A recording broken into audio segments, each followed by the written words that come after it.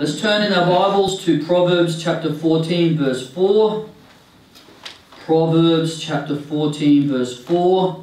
So we're continuing in the theme of Ezekiel chapter 1, the fiery chariot throne of the Lord, and the, and the fiery throne guardians, that's the cherubim, the fiery throne guardians, and the four faces of the throne guardians, and it's the face of the lion, the face of the ox, the face of the man, and the face of the eagle.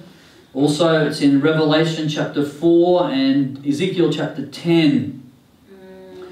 And uh, that these fiery throne guardians, that, that they are guardians of God's fiery throne, they, they are representing God. So the four faces of the cherubim are the four faces of God.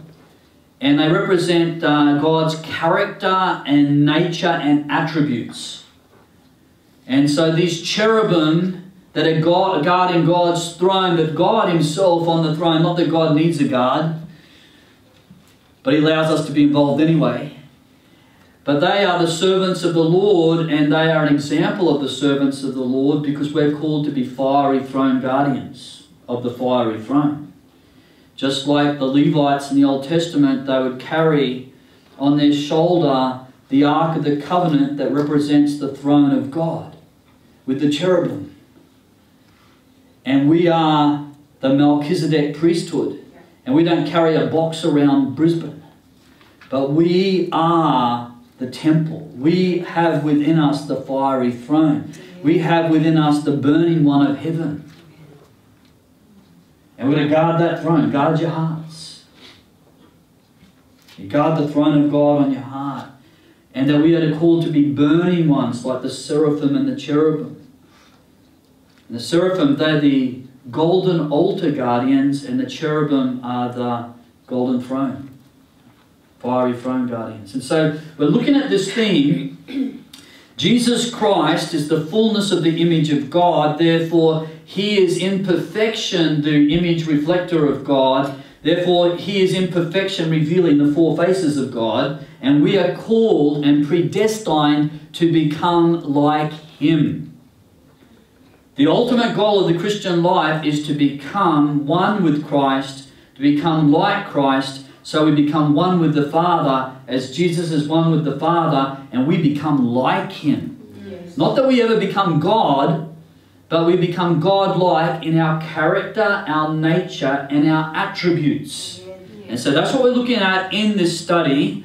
Um, this morning we're going to look at the face of the ox. And I've got a lot of teaching on this. We'll be looking at this Wednesday as well. And uh, next Saturday, I'm doing a three-hour teaching in the in the Sunshine Coast of the whole thing of the face of the lion and the face of the ox and how they interact. And um, it's a very, very powerful subject. So at Proverbs chapter 14, verse 4. Where there are no oxen, the manger is clean but abundant crops or a mighty harvest comes from the strength of an ox. If we want to see kingdom harvest in our lives, if we want to see the kingdom harvest in our marriage, in our family, in our community here at Lions Roar, and in, in the community out of Lions Roar, if we want to see a harvest of heaven, we have to have the strength of an ox. And that's what we're going to be looking at this morning, next Wednesday, and next Sunday. Um, the, the Bible says a lot on this theme. And so that's the thing is, that's talking about fruitfulness of the kingdom. Mm. And there's a mighty harvest when you have the strength of the ox. So the strength of the lion that we looked at previously it's in warfare. Yeah. It's in its, its, its bold aggression to come against the, the enemy's kingdom, to destroy strongholds, bind up strong men, and to take territory from the enemy. It's a kingly anointing. It's about the kingdom authority of the king, the lion of the tribe of Judah. Boldness and courage and aggression and holy violence. Not as unsanctified violence, which is destruction, but a holy violence, which is destruction to the powers of darkness that sets the captives free. That's the boldness or the, the, the strength of the lion is found in those characteristics. And, the, and, and, the, and God is a lion, and Jesus is the lion of Judah, and you're called to be lions. Yeah. We're called to be a lion like people. Okay? Um, but God is also the ox. And I'll, I'll, be really honest with you as I study through the, the four faces. I get very excited about the face of the lion. I want to be a lion. In fact, when I do the character, my wife and I, we did the personality test and we're lions, right? So almost killed each other, but um, finally, finally worked out how not to kill each other and how to actually unify and focus our aggression on the enemy instead of on each other. And we had a prophetic word prophesied over us when we first got married, you know, do, doing the post-marriage counselling and we did this personality test. We both come up lions and the pastor was looking at us going, oh my goodness. Says, you guys are either going to kill each other because in, in nature, two strong lions don't hang out together. You always got to have the alpha that controls. He said, you either kill each other or you learn how to come in submission to the line of the tribe of Judah. Amen. And you learn how to stand together in unity, and then you are going to be the devil's nightmare. You're going to cause great destruction to the powers of darkness. Okay, so that's a prophetic promise with a challenge, isn't it? Um, so the face of the lion is very exciting to me. The face of the eagle, the prophetic. Okay, and that's the strength of the eagle is that it can arise above adversity. Mm-hmm. And it goes to the high places and it can see as God sees the big picture of things. It sees a God perspective. It's the prophetic seer, the eagle. It overcomes by arising. In fact, the, the adversity for an eagle, the, the storm and the updrafts of storms and, and hot weather, it catches the updraft, and because of the storm, it's able to go higher. And, and, and, so that's the nature of the eagle that we're going to look at in a, a, future lesson. But the, you know, the attack of the enemy, you take advantage of it, and it causes you to press in deeper to God. It causes you to go higher into the place of revelation. The devil actually causes you to get closer to God. His plan is he wants to he wants you to give up and pull away. It's your choice. That's it. You can be destroyed by the storm, or you can overcome it and enter the high places. Okay, that's the face of the eagle. And so I get excited. The eagle, you can tell I'm really excited at the moment talking about lions and eagles. It's prophesied over me that, and Lions Roar that we have the face of the lion and the face of the eagle as a ministry. Okay? The face of the man, well, anyway, if I can't be a lion or an eagle, at least a man, you know, like a, but have you ever seen the face of an ox? Like, seriously. It is like the least attractive of the four faces of God, right? Yet in Ezekiel 10, it says the face of the ox is the face of the cherubim. Their primary face is the ox. Because Jesus says the first is last, the last is first. And we all want to be the lion. And we don't want to be the ox, but the last is first. Yeah.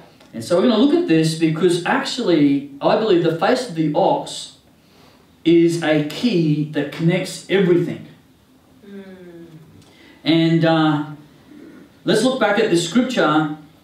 Where there are no oxen, the manger is clean. And it's interesting because baby Jesus was put in a manger, wasn't he? I bet they had to clean it. And it's amazing the things of God that get, you know, come into mangers. But the idea being, the ox is speaking of, of hard work. And they use the oxen, they yoke the oxen together to plow up the ground. And you do hard work for the harvest. If you don't do the hard work, you're not going to see a harvest, right? Yeah. But when you've got lots of oxen and they come into the the stalls and you've got to put all the food into the manger and they come into the stalls and they, they plod in with all of the dirt and the mud and, the, and there's ox poop everywhere. And things get messy. The work of the kingdom, when you personally start to say, I want to see harvest in my life, I want to see harvest in my marriage, I want to see harvest in Lions Roar House of Prayer, I don't want to be a spectator that just attends on Sunday morning. I want to actually build what God is building. We looked at that last week. Jesus is building a people that overcome the gates of Hades. Amen. Ecclesia, a people with kingdom governmental authority. Amen. And we build with Jesus. The Lord is looking for people that will help Him build what He is building, and that's work. That's it. Yeah. It's hard work. That's it. And when you, if, if you've ever worked on teams, we all like to be lone rangers because, you know, the, the only person we really have problems with is ourselves. and, and some of us have big problems with that person. Yeah. But when you work on teams, it actually exposes the weaknesses in your life. That's right. Um, you know, you as, iron sharpens iron, so is one that sharpens a countenance of their friends, and that's like marriage, you know. As you rub up against one another, and all this stuff happens, and what happens is life gets messy. Relationships, and the closer, especially covenant relationships, which is marriage. For those that are in the internship, you actually in Lions Roar, we have a an agreement or a vow that you make in regards to your commitment to Lions Roar and helping us build this house. And you join a team, and the worship team people know this as well. When you get into teams that are committed, it's like a covenant, and things can get messy. You have personality clashes. Yeah. You have differences of opinions. And, and, and those, that pressure can expose in you your weaknesses. It. Yeah. It gets messy. Mm. But where there's no work of the kingdom happening, it can be very clean and ordered. That's right. Yeah. Problem is, it's the peace and the order of a cemetery. Yeah. You can have the life that's like a cemetery. That's all. It's dead. It's not alive. You That's know. it. That's it. Mm. or the, the oxen that are going back and forth and bumping up against each other and they're making a mess that you've got to clean up, but hey, something is happening. That's Yeah. it. Yeah. You've heard me, um, those Lions Roar that have been here for some time, you would have heard me say this many times, but it's a word that was spoken to me as a young uh, believer. I'd started missions on the mission field in Tibet. And this leader said this thing because I'd been through some messy, messy relationships, some hurtful relationships, a lot of clashing, iron sharpening iron. To get sharp, there's got to be a clashing going on. And uh, the word was this Show me a Christian that has never made any major mistakes in their Christian life. I'll show you someone that's done absolutely nothing of significance for God in that person. Mm. Yeah. Yeah. So here is a prophetic word. If you want to press into the kingdom and you want to see harvest, I prophesy you will fail, you'll make mistakes, Yeah. you'll, you'll come to see how unchristlike you are. Oh, Praise Oh, God. Yeah. Because you're not Christ-like now, but you know, when you're all by yourself, you think you are. Yes. When I was a single young man, I thought I was selfless. And then on a daily basis after marriage, I'm reminded, you're so selfish. Oh, Chris is really. Uh, this is where the interesting thing about the ox is this. The eagle is just flying around the heavens, right? This is this is the church is full of those prophetic people. You know them? Yeah. The head is up in the clouds. They're so heavenly minded, they're of no earthly good. It's like, hello, earth calling, reality calling. That's it. Yeah. Oh, I had another vision. I went to another prophetic conference. Oh, I can't wait for more worship. And all that's important. Because you don't want to be, you know, they're so heavenly minded, they're of no earthly good, but you don't want to be so earthly minded, you're of no heavenly good. That's Yeah. right. That's right. You need a heavenly vision. You need to see things as God sees things. You need to hear the word of the Lord. That's the problem with an ox that's not prophetic. Mm. Because all the faces need to interact. Yeah. Because the ox is very grounded in the earth. They work in the earth. They do the hard work. They've got their face into the now work that needs to happen. They're very practical. Yeah. the eagle is, is very spiritual. But the problem is if the eagle never lands, it doesn't get its prey. that's right. That's when the eagle becomes the lion. Mm. Got to land and get its prey. And, the, and, and so the, the heavenly vision to become the earthly reality, you're going to have to learn to be ox-like. That's it. Mm. Amen. And this is why there's so many people in the church. And I tell you what, I've been a major part of the prophetic movement, and I move amongst a lot of prophets and, and teaching the prophetic, and I know a lot of these people. And some of them are really seeing the kingdom get established in the earth. The kingdom only gets established when the eagles learn how to be ox like Yeah. and build. That's it.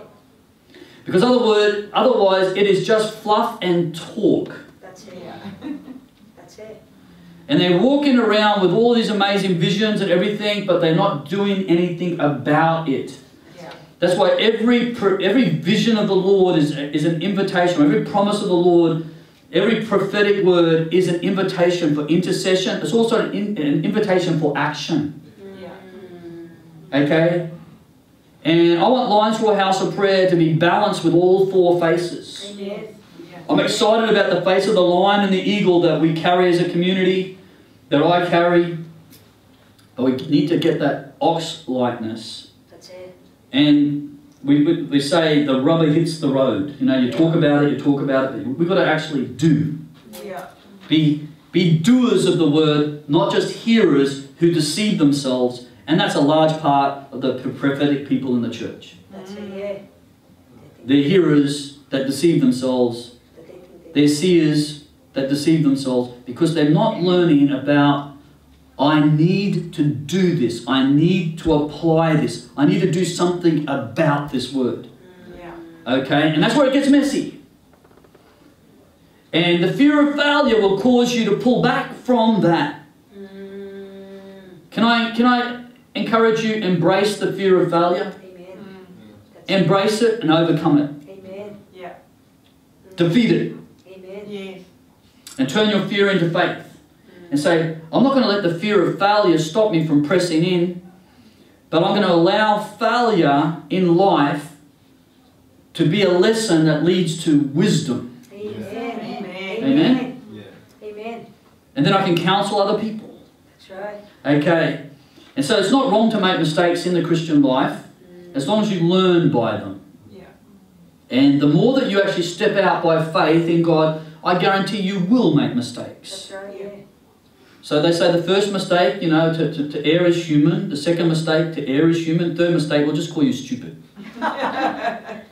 Because you need to learn. That's Yeah. it. Okay, if you make the same mistake and this is like five times later, six times later, you're still doing the same mistake over and over again, you're not learning. Okay, so anyway. So this is this is when we look at these faces, I'm going around biblically a lot of concepts. It's by the strength of the ox we see the mighty harvest. So the characteristics, the nature of an ox is seen in Scripture. I'm going to go with a bit of an overview right now before we actually start to get a lot of Scripture. And, and that's why I'm spending today and Wednesday and next Sunday. We're going to really spend some time in this, going to soak in the Word until we become one with the Word. Amen? Amen. Okay? Because you know, you don't want to be that person that sees yourself in the mirror, and walks away, forgets. And uh, we had the prophetic word from Habakkuk this morning, write down the vision. So that's why I really get excited when I see people with um, a notepad and writing down what I'm saying, because I know you can take that home, you can look at it, and you can run with it. Because the majority of Christians go to church, go, wow, that was an awesome message today. I got really inspired by God. Okay, what did the pastor say? Can't remember, but it was really inspiring. I really enjoyed it when he was speaking. It sounded funny, and then I forgot. Because when you write it down, you can run with it. Mm, And that's the ox. Okay? Not just a hearer, I'm planning to do. Okay, so, and, and ox, there's, there's a number of different words used in the Old Testament, uh, in the Hebrew, and also the New Testament in the Greek. And I'll just explain this. Um, there, there is ox, there is cattle, there is bull, and there's a thing called the wild ox. Okay, the wild ox, that's a very bad English translation of Hebrew. We will look a little bit at the wild ox in a different lesson. Uh, the wild ox is actually wild bull because you don't get wild ox. That's what, yeah. Okay. Because an ox is a domesticated beast that is being castrated, and that doesn't happen naturally. You know, like the bull up in the mountains, it's all wild, and you know, it's like, oh my goodness, I castrated myself. Okay? Throwing out some things like, seriously, if you remember anything, you remember that. So, the just to let you know, what's called the wild ox, when we study that, uh, is Ra'im in the Hebrew. It's the name of an extinct type of wild beast.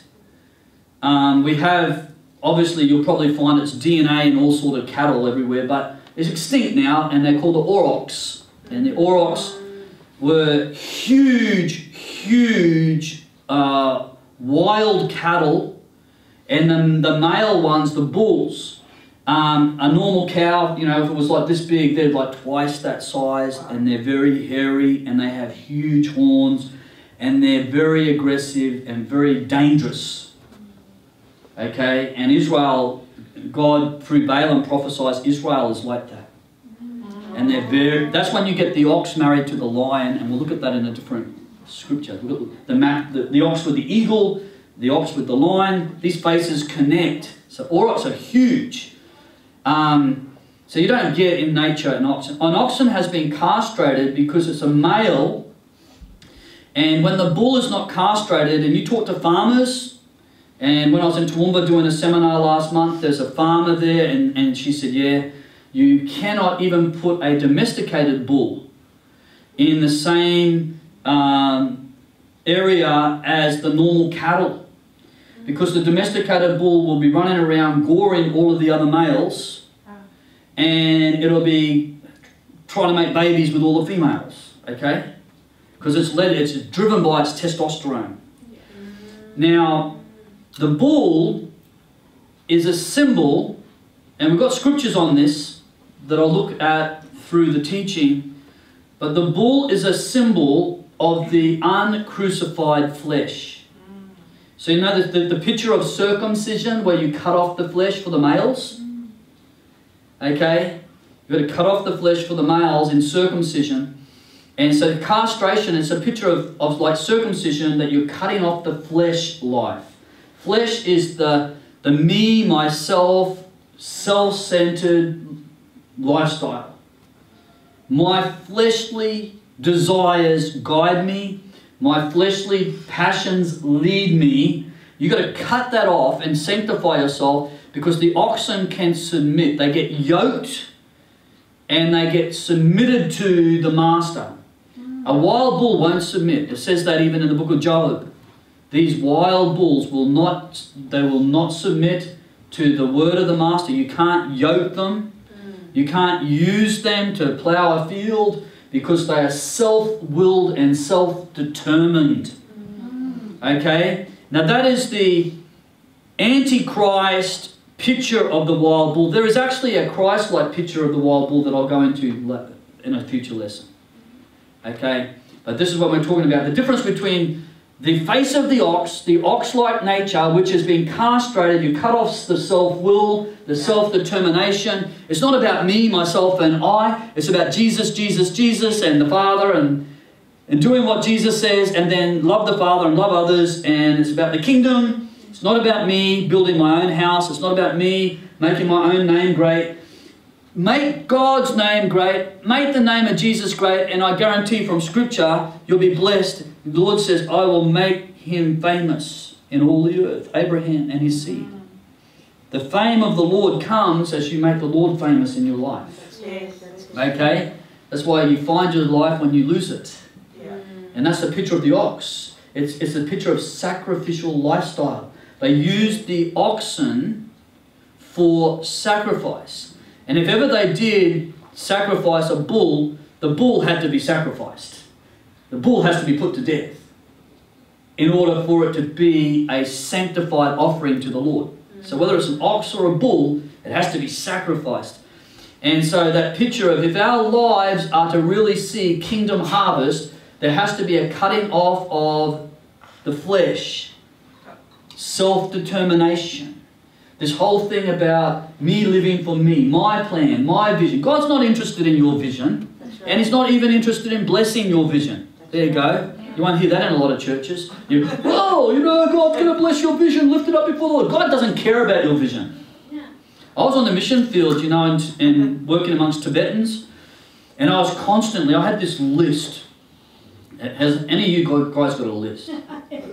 Of what? You know, who you want to marry?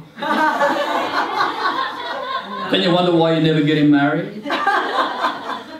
Yeah, and I had a list. I had this. I had I had several lists. And, and, and I would be very spiritually disciplined to pray over my list to see my list fulfilled. And one day, I was in this place because I was getting very frustrated because uh, uh, certain things, by the way, certain things of the desires of your heart are God's desires, amazingly.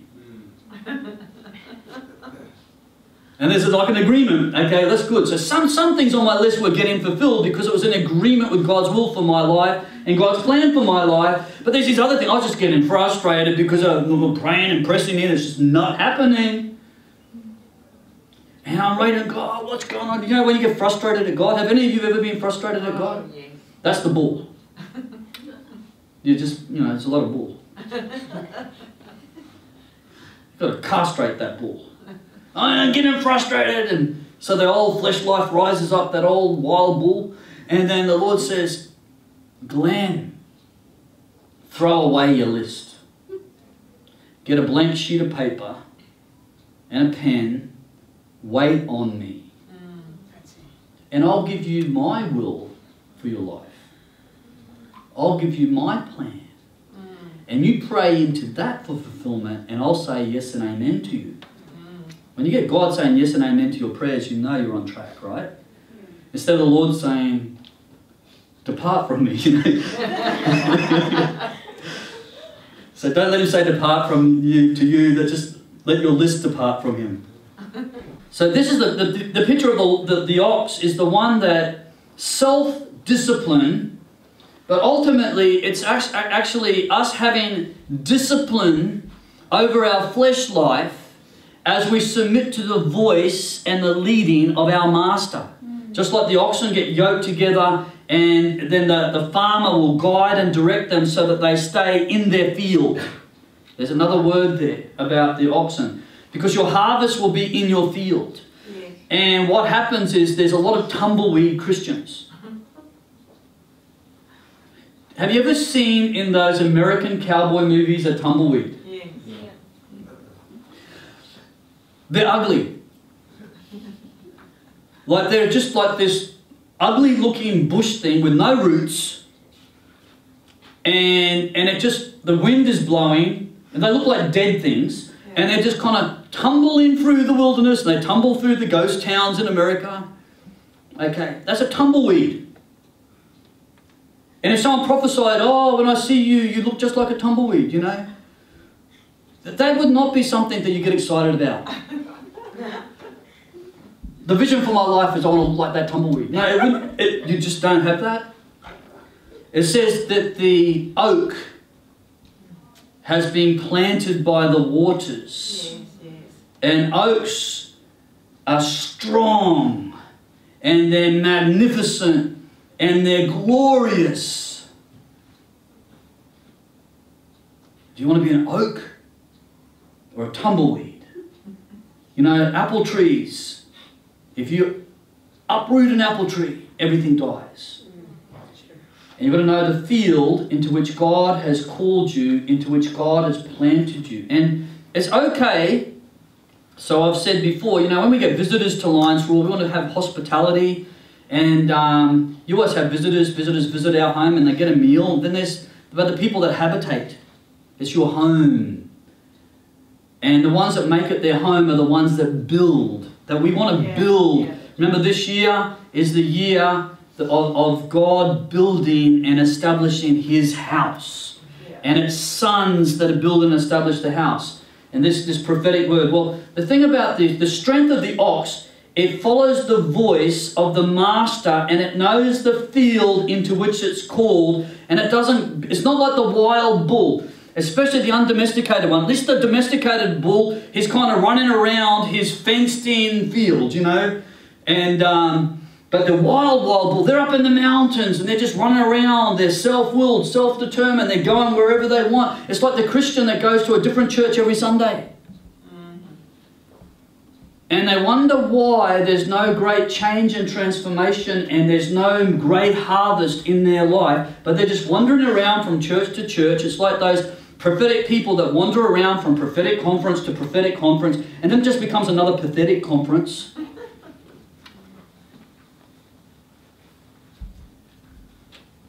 But when you know the voice of the Father, the voice says, This is the family. Scripture says in Psalms, He places the lonely into families. And there's something of a spiritual loneliness where there's not a harvest and fruitfulness in people's lives, is because they wander around all over the place. And never get their roots into relationships. Because your relationship, you can't divorce first commandment from second commandment. Mm. You know, I love Jesus, but I hate the church.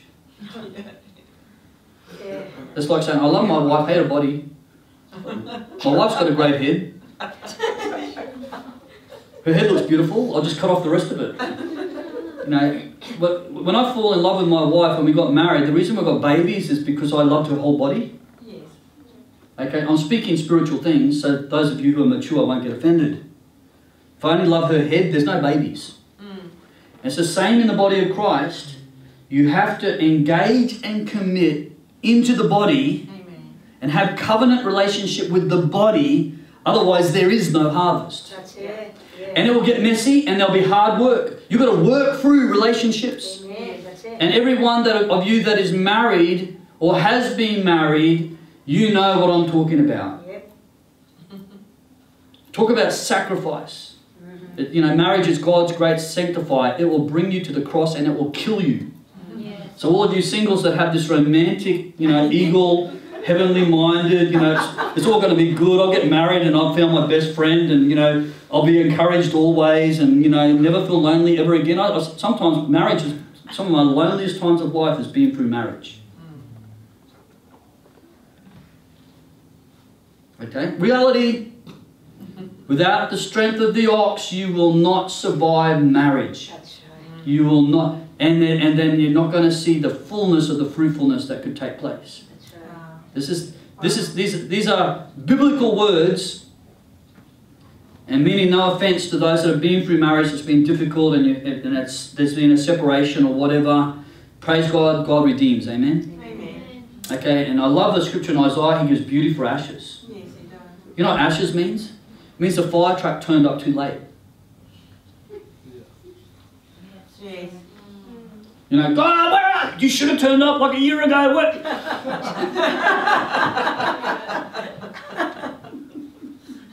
like, give beauty. The ashes is like smouldering ashes. That's it. Finished it. Yeah, all over. Yeah. And then he comes in, gives beauty. Mm. So that's that's part of the nature and character of God as well. Yes. But you know, um, this whole thing, the ox is you. It speaks of endurance, which was a word that came out this morning. Did you notice that? Endurance, where you press in and you press through. It talks about long suffering. Oh, that's an amazing word.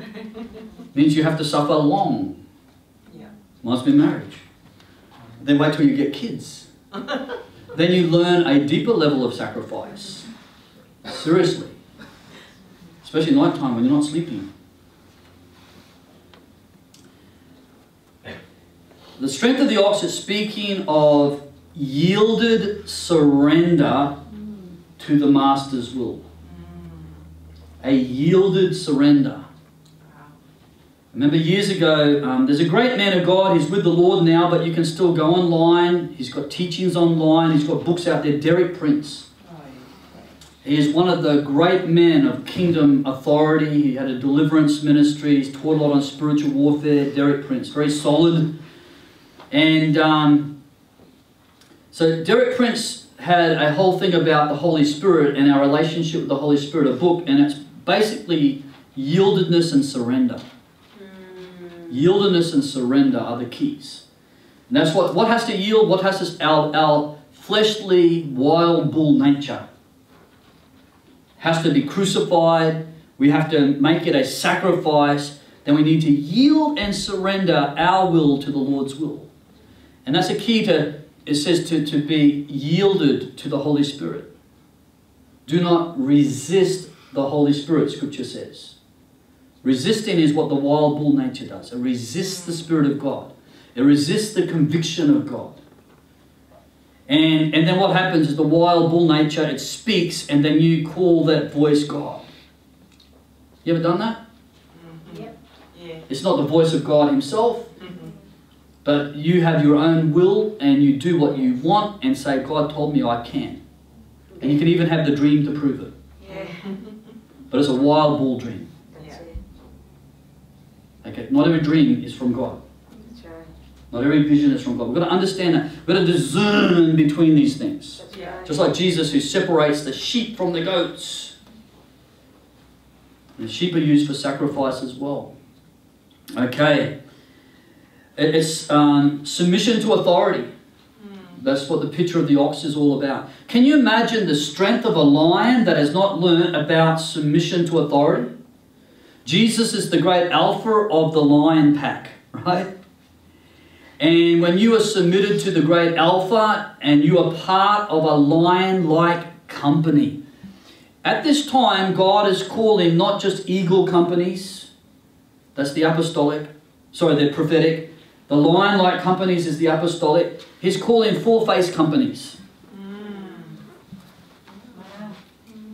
And true apostolic has the four faces. True apostolic is all of the different faces of God because apostolic represents Christ. And you probably, if you picked up what I'm saying, is because everyone's really excited to be part of a prophetic company, and we moved a lot as a prophetic company. God's speaking apostolic um, prophetically over our community the last couple of years. And apostolic is the fullness of Christ, not just the line. Okay. It speaks of, and this is another word that came out this morning about standing on the rock and being steadfast. And so um, Samuel released that word this morning. So come, if you don't turn up at 9.30 for the time of prayer, there's a lot of prophetic happening in the mornings that most of you miss out on. Um, we had a lot of confirmation of words, a lot of things I'm speaking about in my message. People are getting up with those words and sharing words this morning. God confirms. Okay, so steadfastness. Um, and so it's interesting. We yield to the Lord, but we will not yield to the enemy. That's the strength of an ox. It knows its master's voice, and it will press through, and it will not yield to the enemy's voice. Okay, there's a couple of words that are used for endurance, perseverance, uh, long suffering in the Greek. And so I want to give you some of the words with some of their meaning because this is going to give us word pictures of the character and the nature of the ox. Hupo mino. There you go. So hupo means to be under. Okay?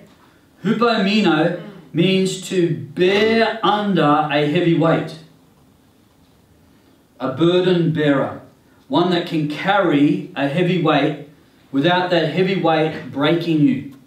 To bear under means I'm able to carry a heavy weight. I can handle a lot, a weight of responsibility. This is why a lot of Christians don't see a great harvest in their lives. Okay? It's because they do not know how to bear the weight of responsibility. That's right, yeah. Yeah. You know, and I remember as a young Christian missionary, you know, young, free and single, and, and I used to, you know, wherever the Holy Spirit said go, I could go, and I'd be going off into the mountains of Tibet, and, and I did a lot of things for the kingdom, but I wasn't building or establishing anything for the kingdom. I was doing a lot of seed planting. It's what a lot of evangelists are like. They're like running around all over the place planting seed. By the way, you need to plant seed. Okay? God will use that in His process. But when you want to see something in and through your life established, and I had to go for a transition time I had the I had the prophetic word over me that I was like this wild, unbroken horse. You know, you get those wild horses, they're out there and they're just self determined, they're running around the mountains doing whatever they want. And uh, the thing is that for that horse to be submitted to a rider, it has to be broken in. That's it. They actually have to break its will. That's it. That's what happens when you break a horse. You got to break its will. How about that? The, the oxen had to get castrated in order to break its will of self determination. And so I had this prophetic word. It's, it's like, you know, you don't just hear it one time, you hear it several times. And then in Proverbs it says, the horse is ready for battle, but victory is in the Lord. And here's a horse, yeah, because that's me. Like, I want to go and fight. I want to do evangelism. I'm going to take Tibet for Jesus, and I want to do this. And I'm going to see the harvest and everything. Everyone wants harvest. They don't want the hard work. No. Yeah. Sure. Yeah. Yeah. Harvest does not come without hard work. That's right. And that's why we've got to carry a weight of discipline. And, and sometimes your self will has to be broken That's it. so that you submit to the will of the Lord. And the Lord says, stay in this field, keep doing this work until I say stop. Yeah. Yes. And the Lord does have times to say, okay, now move on to a new field. Okay, there are seasons. And so the, the wild horse has to be broken. And, and that thing, yes, the victory is in the hands of the Lord. Here is the horse going, I want to go now. And I'm the sort of person, when God says go, I go. There's different personalities. Some people, you're, you're the, the other opposite personality. When God says go, you hear God say wait. You know, the forever waiting on the Lord people. It's like some of the prophetic people. Just wait on the Lord, wait on the Lord. And they never go. So when God says wait on the Lord, the wait on the Lord people hear that very quickly. When God says go, they don't hear it. Mm. So, would you do something about this? Would you finish what you've started? Oh, we're just going to wait. I need to wait on the Lord again. No, do it. Do what I. No, I'm going to keep waiting. But I'm the different. I'm the different personality. I'm like go, go, go, go, go, and God says stop, and I hear go. When God says go, I hear go. That's a good bit. So we've all got different personalities. Yes. Okay. If you know yourself and you know your enemy, you'll have victory in warfare. That's it. Yeah. When I was in the Army Reserve, they told us the reason we lost Vietnam is that the Allied forces did not know their enemy. Mm, yeah. They didn't know why they fought and what they were fighting for. That's it. Yeah. Okay? Know yourself, know your enemy. And here's the thing one of the great uh, advices or, or a, a principle of victory in spiritual warfare ask yourself this question If you were the devil, what would you do to defeat you? If you can get the answer to that question, I'll tell you what, you're going to be more than halfway to overcoming the enemy. Mm. If you are the devil, what have you done? What has the devil done to discourage you, defeat you, and cause you to give up in life? Mm. What has the devil done to cause you to pull back from the work of the Lord? Mm. The ox is speaking about, I'm going to do the work of the Lord. I want to build the kingdom. Mm. Okay. So hupomino, to bear up under a heavy weight. So the picture of it is, is the oxen that would carry the heavy weight, or you know, um, someone like a weightlifter that's able to lift a heavy weight.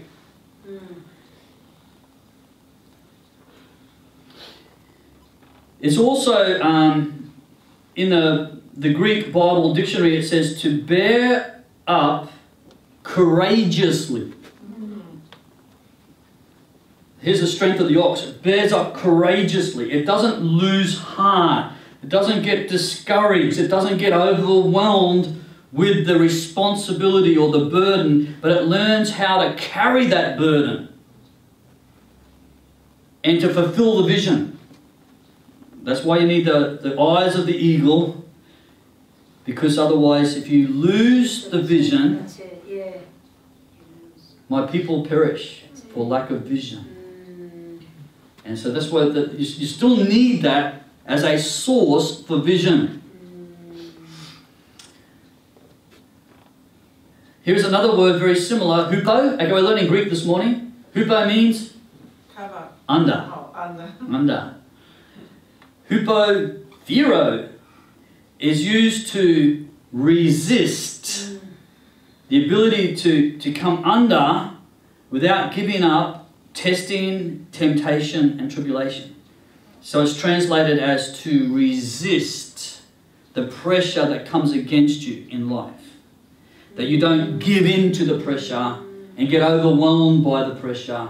You know, again, you know, the eagle is going to, I'm going to escape to the high place again because I tell you what, it's getting a bit too difficult for me. And there is in God a time to escape to the high place. Why? I've got to realign with the vision. I've got to remind myself and, and allow the Lord to remind me of the promises. There is that time to get into God's presence, but you ascend on the mountain of the Lord with your praise and your thanksgiving and your, your worship. You ascend on the mountain of the Lord, you encounter the Lord in the high place, and then you come down like the eagle Yeah. sees its prey, boom. Yeah. Yeah. That's Yeah. it. Yeah. Yeah. Okay, and then the eagle transforms into the ox because it, it's on a mission for God. Mm. Awesome. It's on a mission for God. Mm. And just being in the high place alone, you'll never accomplish the mission of God unless from the high place you're very much engaged in intercession and prayer. That's a, that's a bit different. But even then, God will ask you to do stuff. So, but here is the resisting under temptation, the, the not giving up with the temptation to sin, or the temptation, you know, the devil comes along, lose heart, give up.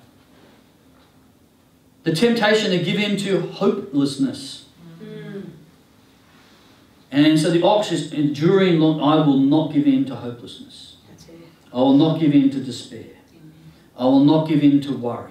Amen. I'm gonna I'm gonna press through this. Amen. Hallelujah. Mm. Here's another word. Macrothumio. These are all used in the Bible, okay?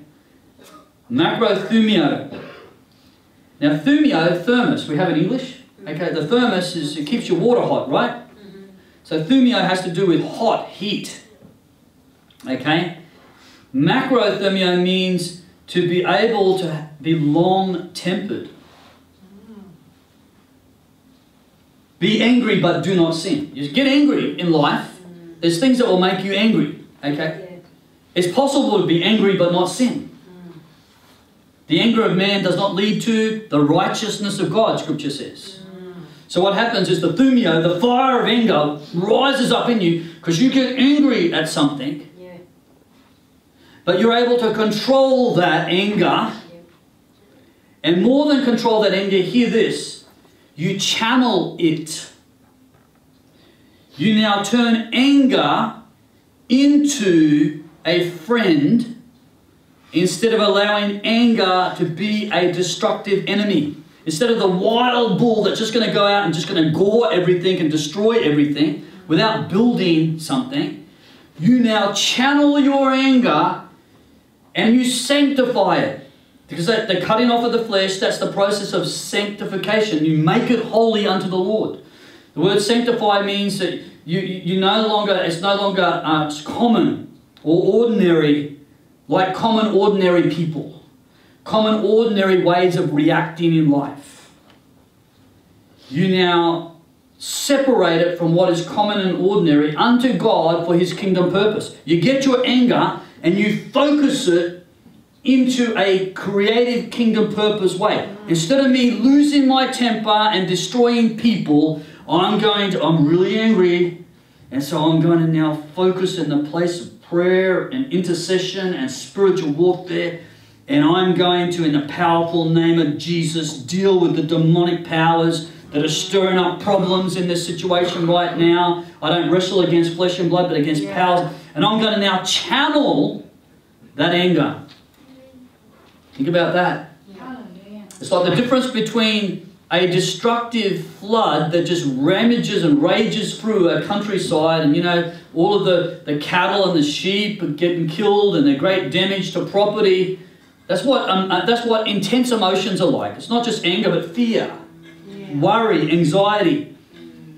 But it's like you keep it in a field, you dig a trench for it to be channeled Yes. in a kingdom way. So you channel your fear. You channel your, you know, be anxious for nothing, but in everything with prayer, supplication, together with thanksgiving, make all your requests to God. What's that?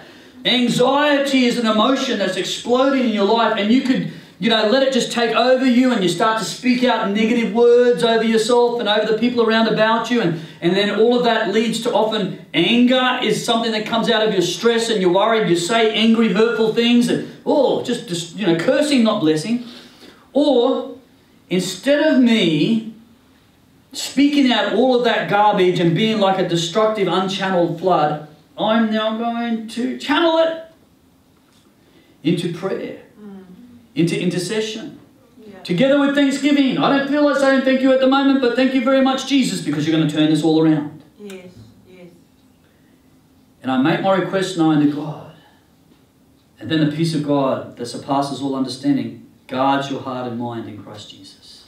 See that picture? That's the strength of the ox. It's power and strength under control. It doesn't lash out, but it focuses it and it redeems it. And then, you know, you use that, you know, you cast your burdens on the Lord. Well, you, you can't cast your burdens on the Lord if you never get burdened. Yeah? So then God will allow situations to happen that you get burdened. Okay?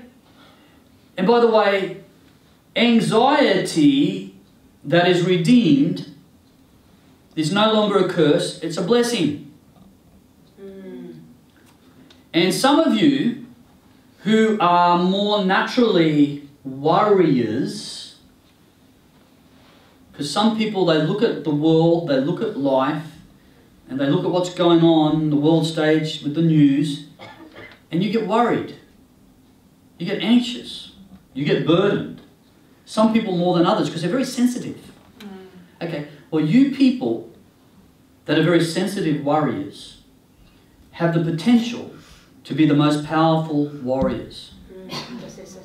Yeah. You're burdened about things more than others. You're seeing, you know, concerning issues more than others. You're tuned into that, but now you redeem it. Instead of allowing that, that weight to crush you, Yes.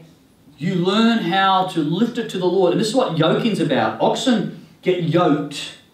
We're going to look at this in a future lesson about what it means to be yoked to the Lord. Jesus says, Take my yoke upon you because it's easy, it's light. to take Jesus' yoke upon you, understand this to yoke an oxen, you get two of them together. Mm. And to take Jesus' yoke upon you means Jesus is yoked to you, and you are yoked to Jesus, and together with Jesus, one with Him, one yoke, you're ploughing the field. And I tell you what, Jesus never gets defeated. Yeah. Amen. Jesus always finishes what He starts. But you've got to learn about yoking. And that's a, a future lesson. I'm just kind of introducing all sorts of things. Maybe, maybe this morning should be introduction to the face of the ox. But you know the power of that? When you try to do it yourself, Cannot do it, Yeah, and, and by the way, here is a, a prophetic promise of the Lord. You can't do it. There you go. How's that? Run around with that in your promise box. and I'm quoting Romans Mm. chapter 10. It says, Faith says, I can't. Mm. How's that? Yeah. Faith says, I cannot ascend to heaven and bring Christ down, and I cannot descend into hell and bring him up. I can't. But salvation is near every one of us. It's in our heart, it's in our mouth, because it's the Word of God. Faith comes from agreeing with the Word of God. I can't, says faith, but Christ can. Yeah. And Christ can in me and through me if I learn how to yoke with Him. And sometimes I tell people, well, how do you do that? You know, like, I tell you what, this is how I do it. It's like, I can't do it, Lord. Yes. I need your help. Mm. And I even say this sometimes in prayer I yoke myself together with you. Mm. Lord, help me bear and carry this burden. Amen. Lord, I give this burden to you And he says, okay, take my yoke upon you. So this is a very important thing of how we can work through these situations. Here is a Wikipedia dictionary meaning for patience and perseverance. To remain firm in your commitment, to remain true to it, despite all suffering and adversity. To remain firm and true in your commitments, despite suffering and adversity. So here is my kind of Christian amplified version. To remain firm and true in your covenant commitments to the Lord and His kingdom purpose. Despite sufferings, temptations, oppositions, hardship, adversity, and trial. Yeah. So when the Bible says endurance, the endurance of the ox, patience, perseverance, long suffering, that we remain firm and true to our covenant commitments before the Lord, despite whatever opposition, adversity, or testing is coming against us. That is Christ like. And God is like that. Can you imagine if God would just lash out like a wild bull from heaven every time we sinned? What this, this whole room would be full of like, you know, burnt toast looking people. He's long suffering, he's patient. Because he's full of you know the, the, the compassion and the mercy over us. By the way um, the character of the ox is also seen and this is another word that was brought out this morning. Faithfulness. Yes, amen. that came out this morning. Someone had that word when we are seeking the lord for just words. Faithfulness. Did you know that the greek word for faithfulness is the same greek word for faith Lord, increase my faith. Okay, well, I'm going to give you adversity and opposition, and here's another demon to attack you, and you're going to learn how to endure and be faithful through tests. That's it. And as you learn how to be faithful in the testing times, your faith increases. That's it. Because you learn how faithful God is to his promises. Faithfulness. He is faithful. We read that out of Habakkuk this morning. Even though the word might seem to tarry, write it down so you can run with it. And even though it seems to tarry, the Lord will come, the Lord will fulfill it in the Lord's time. Why doesn't God just answer our prayers, you know, really fast? I want the microwave prayer, you know. There it is. You know, I want to go to the McDonald's Christianity church. If, if all you ever do is eat Big Macs and fries or eat pizza, you'll have a face that looks like it.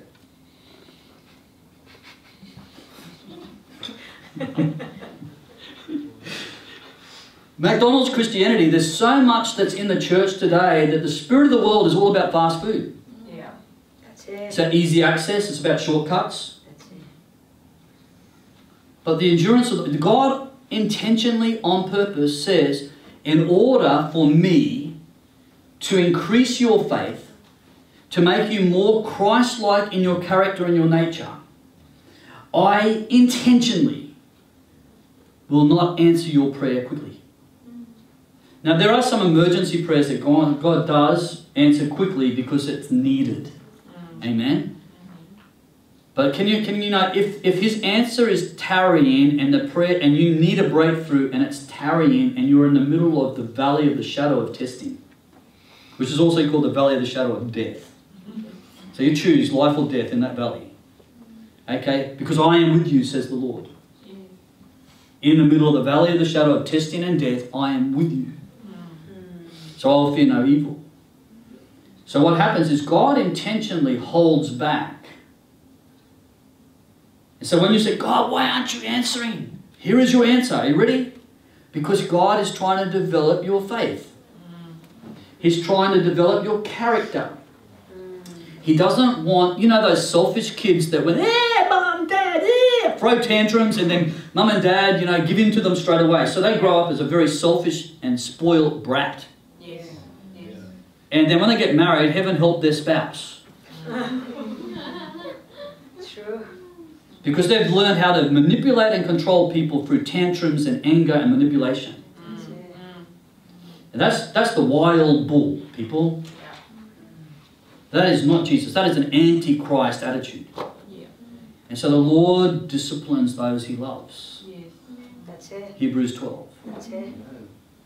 Because he loves you too much to ruin you. That's it. Parents that really love their children will discipline them. They will not give them, you know, every time they want McDonald's instead of veggies, they will not give them McDonald's every time. Just sometimes to reward them. Okay? But not every time. And sometimes even Mexican. Sorry, I just had to throw that in there. Very quickly, I want to finish uh, with this. Let's look at 1 Thessalonians chapter 1. 1 Thessalonians chapter 1. I did share this on the Wednesday night, but the Lord impressed on me I need to share it with the whole church. Hmm. 1 Thessalonians chapter 1.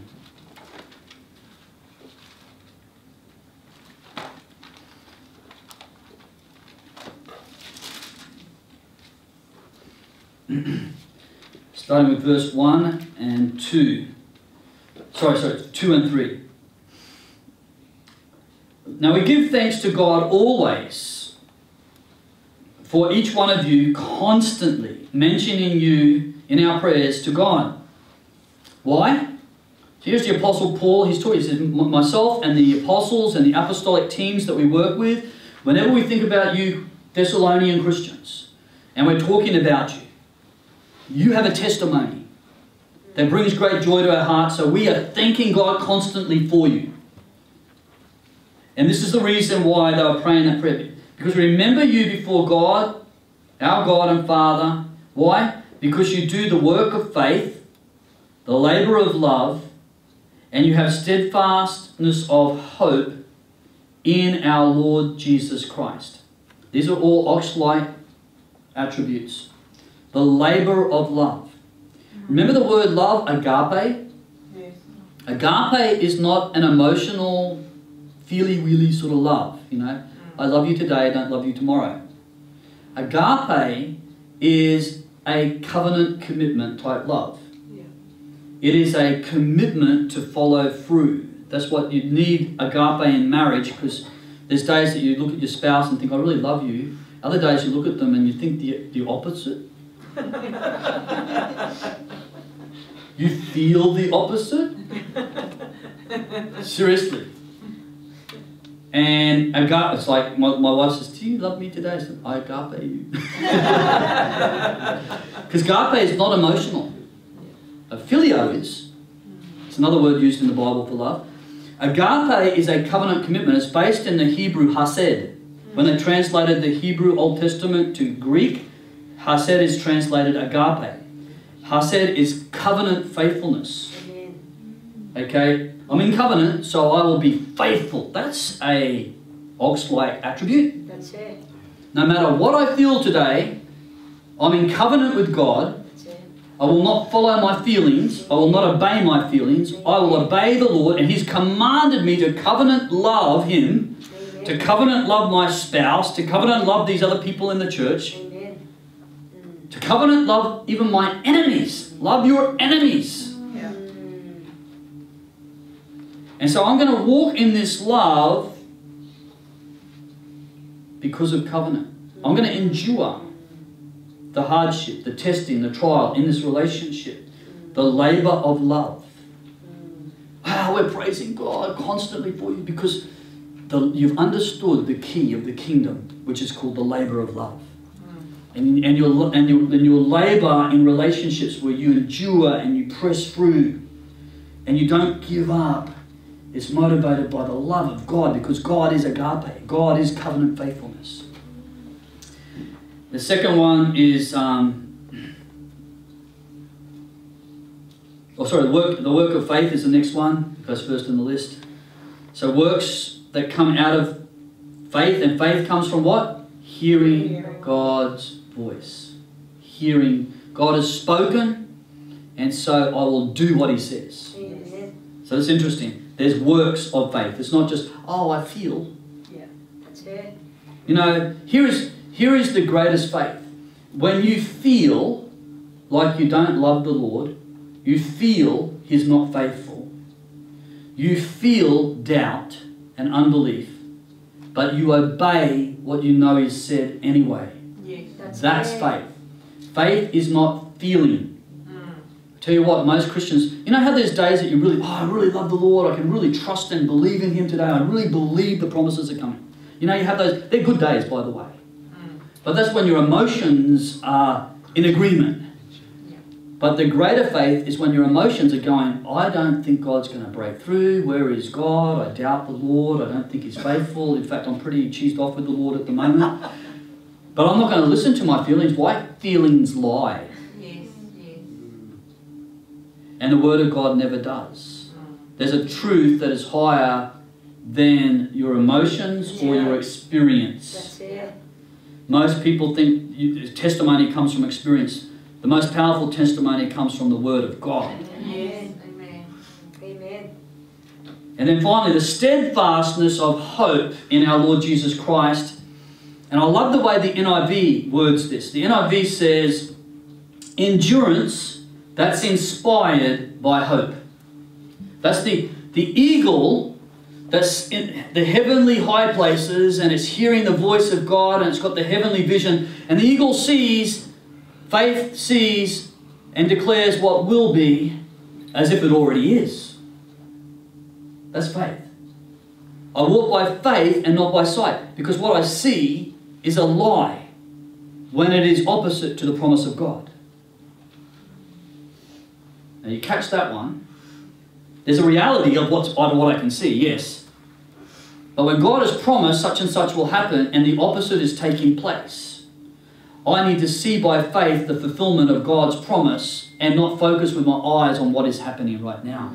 Our testimonies are often based off what we see and feel and hear in the natural, and then we get the Antichrist testimony. You know, like prayer doesn't work. You know, evangelism doesn't work. Did that for you know three years, it didn't work. Okay, well, sometimes the difference is in attitude. Faith Yes. declares what will be as if it already is, Yes. and that's you need hope for that. Yeah. That's right. Hebrews 11, you know, faith is the evidence of things hoped for, being certain of things unseen. Now, that eagle like characteristic inspires the ox like endurance. Because can you imagine, have you ever been in like the drudgery of the hard work? And God has given you promises, but the promises to be fulfilled, it's a lot of hard work. Yeah. And you're in this eat, work, sleep, eat, work, sleep, eat, work, sleep, and you're not seeing the harvest. You're not seeing the breakthroughs. Just work, work, work, work, work. That's when you need to be inspired by the vision of hope. Yes. That's when you need to, I need to pull back and get into the presence of God. That's when I need to pull back from the work and get into the, the presence of God. Then I get inspired. I see the joy set before me so I can endure my cross. I see uh, God's promise fulfilled. And then I go, now I know why I'm in the field. I see by faith the harvest that's coming, so I'm going to do all the hard work that's required to bring in the harvest. Yeah. Okay. Scripture speaks a lot about hope, and it says you don't hope, Romans 8, you don't hope for what you already have. Now, could you imagine me walking around the church this morning going, I'm, I'm hoping in the Lord for a, a wife? You'd look at me like, You got a wife. I don't have to hope for a wife, I've got a, I've got a wife.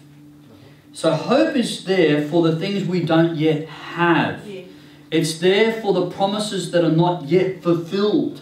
And in Romans 8, the context is that for this hope we are saved, the redemption of our body. That's when we are perfected, body, soul, and spirit. Perfected and fully like Christ. I'm not there yet. Ask my wife. She reminds me. She's not there yet either. but but the thing is, there, there is a hope of our perfection, and the hope in the fullness of becoming like Christ, the fullness of our faith being perfected, the harvest come. That hope inspires me that I'm going to endure through this valley of testing. Yeah. So that's what I wanted to share this morning. Very good. So, Heavenly Father, I just lift up each one before you this morning, and I ask, Lord, that you release over them the grace of the ox. And, and much of this, Lord, long suffering and faithfulness and endurance, this is fruit of the Spirit. Yes. So I ask, Holy Spirit, that you would be working in each one of our lives the fruit of the Spirit. Holy Spirit, that you would come and give us this endurance, that you'd give us this faithfulness, this ability to, to press on and press through hardship. Lord, the, the ability to do the hard work until the promise is revealed. We ask that you would give us the eyes of the eagle, Yes. that we'd see heaven's vision, that we'd see by faith, Lord, just give us the eyes of faith this morning that we would see what will be as if it already is, so that we can declare over our life, over our marriage, over our children, over our circumstance, what will be as if it already is. Amen. And even though we're seeing an opposite of the promises manifest, we will continue to declare when we see the dry, dead bones, I see a mighty army. When I see a dry, dead spiritual Christian, I see in them the potential of a mighty warrior. When I look at myself in the mirror, I see the fullness of Christ by faith. Until it comes, keep us on that track. Amen. Keep us in that field, oh Lord, I pray. Amen. That we would not wander in disillusionment into the ways of the world, hanging out with the people of the world, that would lead us into activities that would be in the opposite direction of Christ likeness. And Lord, I would thank you that not only do we yoke ourselves with Christ, but we are yoked to a spiritual company. You don't leave us orphans, but you bring us into the family of God. Amen. In Jesus' powerful name. Amen.